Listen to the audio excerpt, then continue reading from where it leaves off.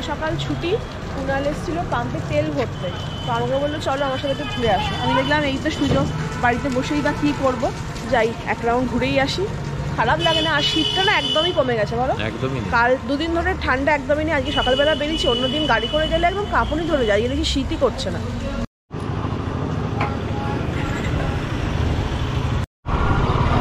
এখানটাই দাঁড় করা নাকি? সকাল সকাল যেমন চলো চলো চলো চলো।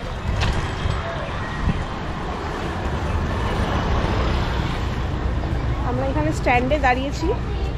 চা খাব চা। আমাদের গাড়িটা ওখানে পার্ক করেছি আমরা এখানে দাঁড়িয়ে চা খাব। জায়গাটা দেখো খুব সুন্দর।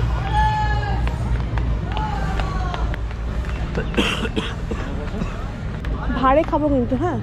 হ্যাঁ। কি বিস্কুট? খাবে? কি খাবে বলো? এই যে রোল আছে এই আছে। এইটাই নাও। এটাই নেব? হ্যাঁ। নিচ্ছি গো। দুটো নাও। অবশ্য ওখানে সন্দেশ বিস্কুটও আছে। সন্দেশ বিস্কুট খাবে? তো ছেড়ে দাও এটা সন্দেশই খাও। এখানে সেলফ সার্ভিস নাকি নিজেরাই বার করে। ওই দাদা কোথায়? দাদা? ও। এই দেখো যেটা সেদিনকে আমরা কিনে আনলাম সেটাও রয়েছে। আর এই যে রোলটাও কুনাল কিনে এনেছে এটাও রয়েছে। না। ওই দেখো লালু চলে এসছে। কে? লালুকে এই নে, পার্লেজি খা। খা কেনে ওদের জন্য পার্লেজি আমাদের জন্য এটা কি বলো? সন্দেশ বিস্কুট। জায়গাটা কিন্তু হেভি। মাথায় ছাতা রয়েছে এখানে বসে খাও। সব থেকে বড় কথা এখানে আবার কাগজও দেওয়া আছে। মানে চা খেতে খেতে তুমি কাগজও পড়তে পারবে। নট ব্যাড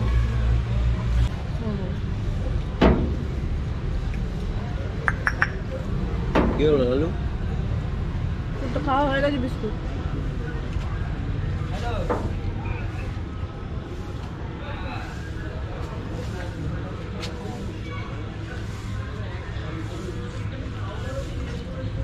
দারুণ চাটা। চা খুব ভালো করে। আমার জিভটা পুড়ে গেল এতটা গরম আমি সচরাচর চা তো খাই না আগে খেতাম। এখন এই বড় ভাড়ে দিয়েছে দারুণ লাগছে কিন্তু। আর এই দোকানেই আমি আড্ডা দিতাম এক সময় ওয়ান্স আপন আর টাইম এখানে আমার রোজই আড্ডা হতো। আবার বিস্কুট কেন নিচ্ছ আরে আরেকজন এলো কোথায় গেল? সে এসে আবার চলেও গেছে।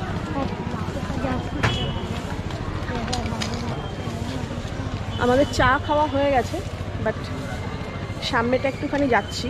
এখানে না অ্যাকচুয়ালি হচ্ছে লঞ্চ ঘাট বুঝলে? তো পাশেই হচ্ছে আমাদের লঞ্চ ঘাটটা আর এই জায়গাটা ভীষণ সুন্দর। জগদ্ধাত্রী পুজোর দশমী কিন্তু এখানেই হয়। এই কোথা দিয়ে নামলে দেখো কোথায় চলে গেছে ওই দিকটায় যাবে না? হ্যাঁ ও কুনাল এইটা দিয়ে বেরিয়েছে। তো জগদ্ধাত্রী পুজোর সময় যখন ঠাকুর বিসর্জন হয় গঙ্গায় তখন এইখানে পা রাখার জায়গা থাকে না এত লোকের ভিড় হয়। আমরাও আসি। এই জায়গায় লোকে তখন ঠিক ঠিক করে। এই জায়গাটা- ওই নৌকাটাকে ভাবছি বাড়ি ওখানে রেখে দেবো মাঝে মাঝে চড়ার জন্য। এখানে ফালতু পড়ে আছে বাবা কি শখ দেখো ছেলে। ওই দেখো ওরা নৌকায় ঘুরছে হ্যাঁ এই সেরকম একটা নৌকা করে ঘুরতে পারলে ভালো হতো তাই না বলো? এই ওরা মাছ ধরছে ঘুরছে মানে কি, ওরা মাছ ধরার জন্য নৌকাটা রেখেছে। লঞ্চে করে পিকনিক করার মজাটাই আলাদা। এই লঞ্চগুলো যখন যায় অনেকজন হলে না ওই তো বলছি খুব মজা হয় জলের মধ্যে আমার বাবা তো আগে এসডি অফিসে চাকরি করতো তো বাবাদের বছরে এই শীতকালে একটা করে পিকনিক হতোই প্রত্যেক বছর। তো আমি মা বাবা এরকম দুবার তিনবার করেছি এই লঞ্চে করে। মানে ওই সবুজ দ্বীপ আছে না লঞ্চে করে সবুজ দ্বীপে ওখানে যাওয়া ওখান থেকে ফেরত আসা লঞ্চেই রান্না বান্না সব ওখানেই খাওয়া দাওয়া। আমি ছোটোবেলায় আমার দুবার এক্সপিরিয়েন্স আছে।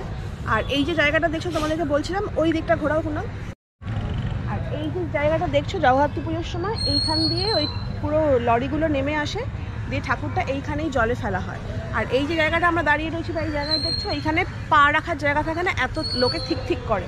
প্রচুর লোকের ভিড়। এখন যে আমরা দাঁড়িয়ে রয়েছি, তখন দাঁড়িয়ে থাকতে পারে না। মানুষ এর ঘাড়ে ওর ঘাড়ে চেপে পড়ে, তাই না? কি অবস্থা তখন আমাকে দুটো টিকিট দেবেন। কত দুটো?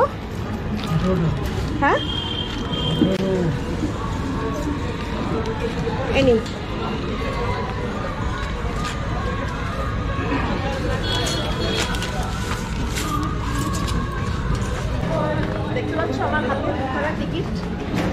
আমাদের লঞ্চ লঞ্চে চাপার ইচ্ছা হয়েছে হয়েছে দাও লঞ্চে চাপার ইচ্ছা হয়েছে ওই জন্য বেরিয়ে পড়েছি করে আর যেটা ইচ্ছা সঙ্গে সঙ্গে সেটাই করব ওই যে হর্ন দিচ্ছে হর্ন দিচ্ছে দাঁড়া দাঁড়া দাঁড়া হ্যাঁ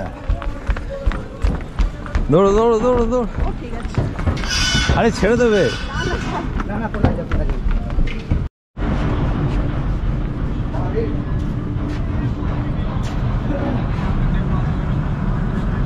ফাইনালি আমরা লঞ্চে উঠলাম।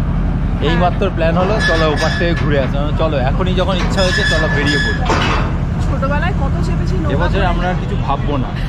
এত ভাবি না ওই জন্য কিছু হয় না। আর এই যে জলশ্রী। হ্যাঁ আমাদের জলশ্রী। আমাদের জলশ্রী? হ্যাঁ তা চন্দ্রনগরের জলশ্রী মানে তো আমাদের জলশ্রী। উড়ালের হয়ে গেছে এরকম ব্যাপার।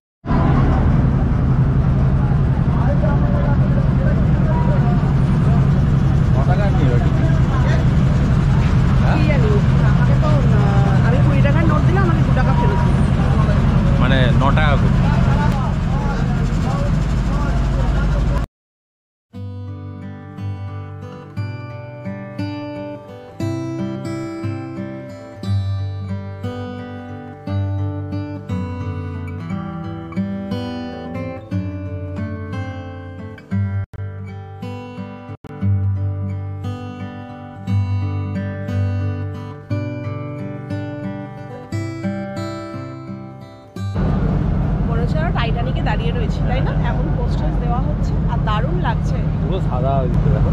হ্যাঁ আমাদের বাড়ি ওইদিকে দেখাই যাচ্ছে। সিরিয়াসলি ওই দিকটা হচ্ছে আমাদের বাড়ি ওইখানটাই আমরা গঙ্গার ঘাটে থাকি তোমরা অনেক আমার ব্লগে দেখেছ। বাট এখন শুধু ফগি ফগি কিচ্ছু দেখা যাচ্ছে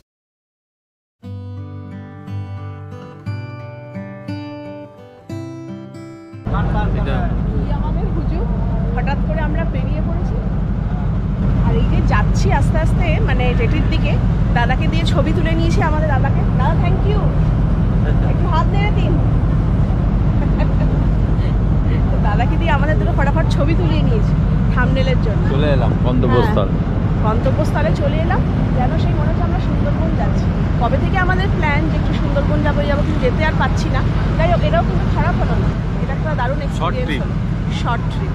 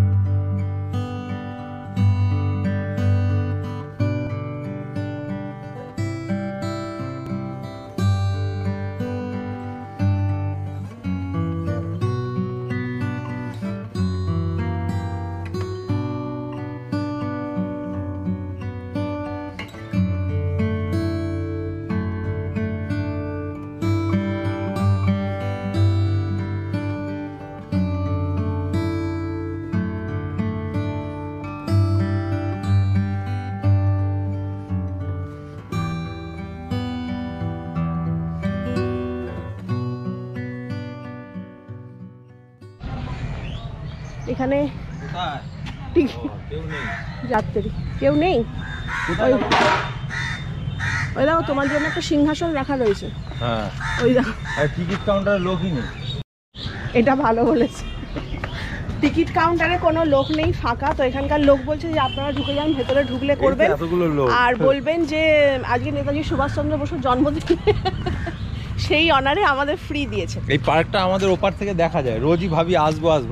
আজকে যখন চলে এলাম চলো পার্কটা ঘুরে আমরা আজকে সত্যি মানে বহমিয়ান হয়ে গেছি। হঠাৎ করে আমরা সকালবেলা তেল ভরতে বেরিয়ে ওখানে গাড়ি রেখে হঠাৎ করে ওখানে জল পড়ে। এই এই গঙ্গার ধারে আগে চলে। হ্যাঁ গঙ্গার ধারটা খুব ভালো লাগবে দেখতে। আবার পার্কটার নাম কি বলতো? পাঞ্চবাটিকা পার্ক। আমরা আমরা যে এসছি এখানে কোনো আমরা ড্রেস ভালো ড্রেসও পরে আসিনি এমনি নর্মাল নর্মাল চলে যে একটু ভালো পরে আসব দুটো ছবি ফবি তুলবো সেরকম ব্যবস্থা নেই। ওই দেখো ফুচকাওয়ালা দাঁড়িয়ে আছে বাহ হ্যাঁ, বাহ বাহ হাতি। দারুণ দারুণ। দাদা বলছি যে ওইখানে কেউ নেই টিকিট কাউন্টারে? ওই তো ওনাকেই দিয়ে দাও। তা দিয়ে দেবো এখন পয়সা? ভালোই হয়েছে। আমার এখান থেকে গাড়িও দেখা যাবে দেখো। হ্যাঁ হ্যাঁ। আমার আমার মামার বাড়ি না দমদমে জানো তো? তো ছোটোবেলায় যখন মামার বাড়ি যেতাম তো আমাদের ঘাট পার হয়ে যেতে হতো। তো আমরা তখন ছোটোবেলায় লঞ্চে চাপার খুব মানে ইয়ে ছিল। মানে প্রায়ই আমরা চাপতাম বাড়ি যেতাম ছোটোবেলায় যেরকম হয়।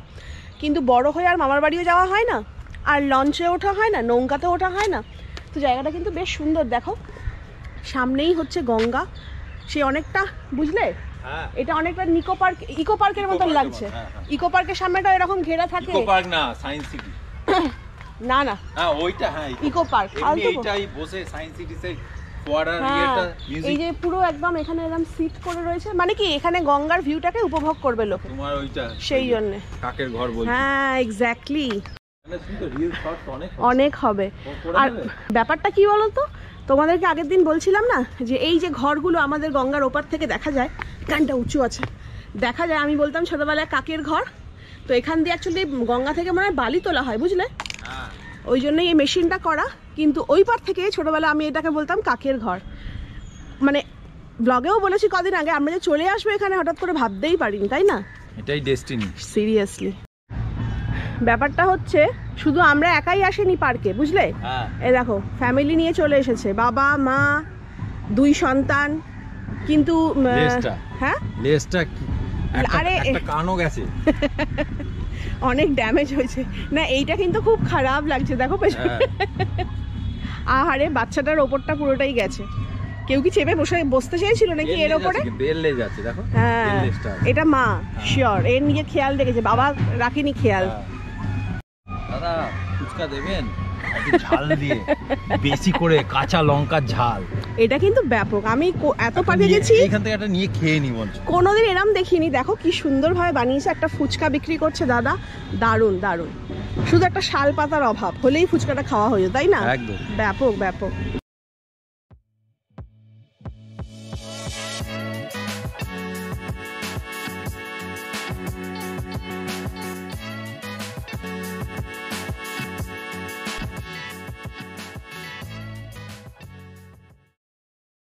আমরা সব হাপি হাপি হাপি একটু রেস্ট নেব হ্যাঁ হাপিয়ে গেছি সব শর্ট ওই তো হাপি। মানেই তো আর এখন তো সব শর্টের যুগ আর স্লিপ টিপ খেয়ে না আমার হাত পা হেভি গান্দা হয়ে গেছে এখানে বসো বসো বসো একটু রেস্ট করে নাও.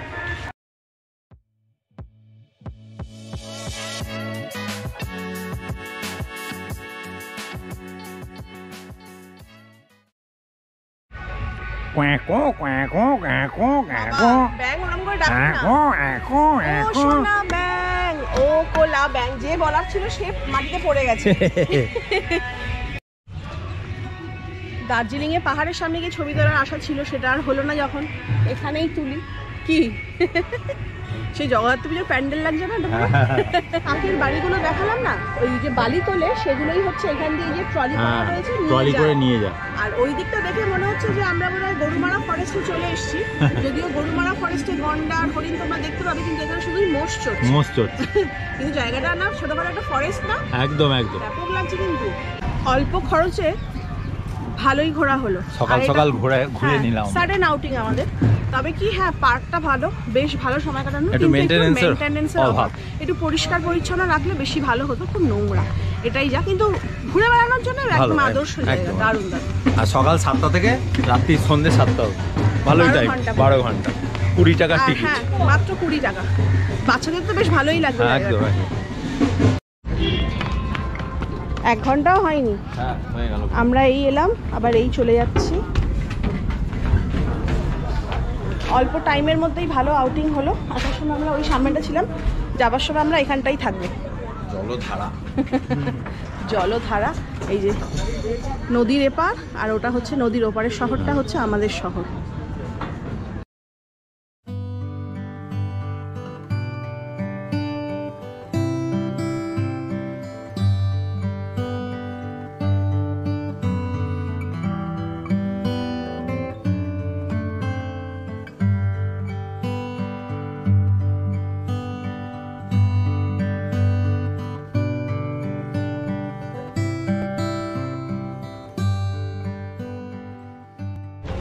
বাড়ি থেকে যখন বেরিয়েছিলাম মা তখন ব্রেকফাস্ট সার্ভ করছে। তো মাকে বললাম যে খাবারটা ঢাকা দিয়ে রাখো তুমি খেয়ে নাও আমরা আসছি। এবারে খিদে পেয়ে গেছে। গাড়ির তেল ভরতে গেছি। কিন্তু তেল ভরতে গিয়ে মা ভাববে এরা গেল কোথায়? তেলের ওপার ভরিতে চলে হ্যাঁ। চব্বিশ পরগনা থেকে ঘুরে চলে মানে ডিস্ট্রিক্ট চেঞ্জ করে এলাম যেটা বলো? একটা কিছু কথা বলতে আচ্ছা। সেটা হচ্ছে যে গুণীজনেরা বলে গেছে ছোটোখাটো জিনিসের মধ্যেই আনন্দকে খুঁজে নিতে হয়। প্রচুর টাকা খরচা করে আমাকে যে অনেক দূরে গিয়ে আনন্দ করতে হবে মজা করতে হবে নতুন জায়গা এক্সপ্লোর করতে হবে এরকম কোনো মানে নেই। তো আমাদের দেখো সামান্য হয়তো খুব বেশি হলে একশো টাকাও খরচা হয়েছে কিনা সব মানে বলা হ্যাঁ যাবে হান্ড্রেড রুপিস ব্যাস। তার মধ্যে যে এত অল্প খরচে যে আমরা ঘুরে এলাম এত জায়গা দেখলাম নতুন একদম অচেনা জায়গা কোনো মানুষকে চিনি না কোনো জায়গা জানি না একটা ডিস্ট্রিক্ট পার করে এলাম পুরো মানে কি বলব তো হুগলি থেকে একদম চব্বিশ পরগনা। চলে এলাম। এই যে ছোটোখাটো ঘুরলাম একদম অল্প খরচে, তোমাদের কেমন লাগল অবশ্যই জানিও কমেন্ট করে জানাবে। আর ভালো লাগলে অবশ্যই do like share comment and do subscribe simple life hashtag Bengali blog till then love you and bye bye